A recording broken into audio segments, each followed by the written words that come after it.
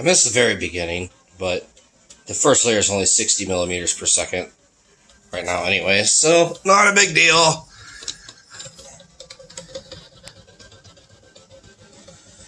There's a fast benchy in there somewhere.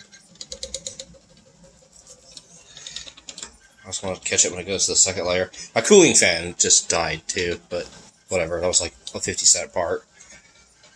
So I'll probably have to pause this and change it because that's going to make this benchy really freaking ugly.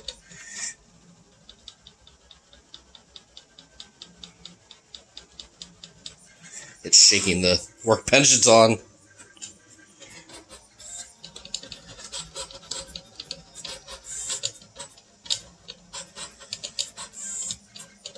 Now you see it's on the second layer.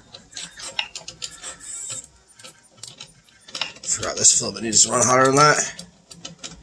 Yeah.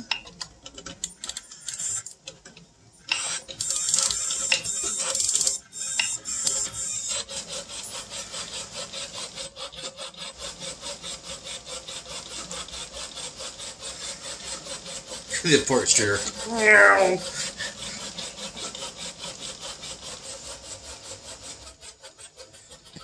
Don't normally get to see that spool unspooling like that.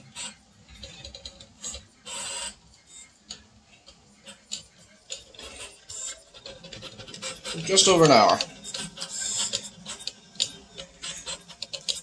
just to mess with it a little bit extra, I put the word fast in front of the benchy. Mm, 8 millimeter tall letters. It up, the fat fan there is fast.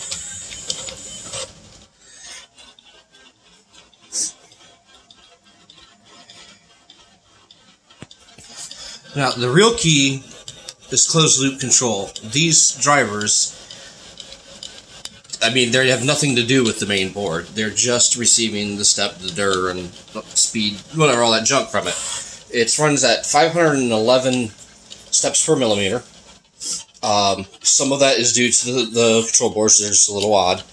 Uh, these motors are larger than normal as well. It's 24 volt. As you can see by my Amaran Industrial Power Flag off eBay for $30. But,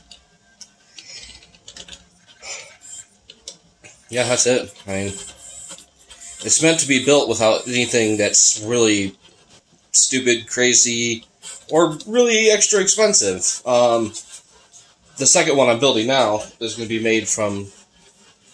I mean, basically, I'm just going to rip my old Anet down, steal the motors and some of the rods and some stuff off of it. I mean, it's really useless, anyways. Steal the uh, SKR off of it.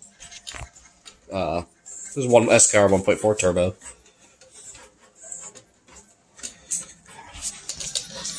Stupid fan.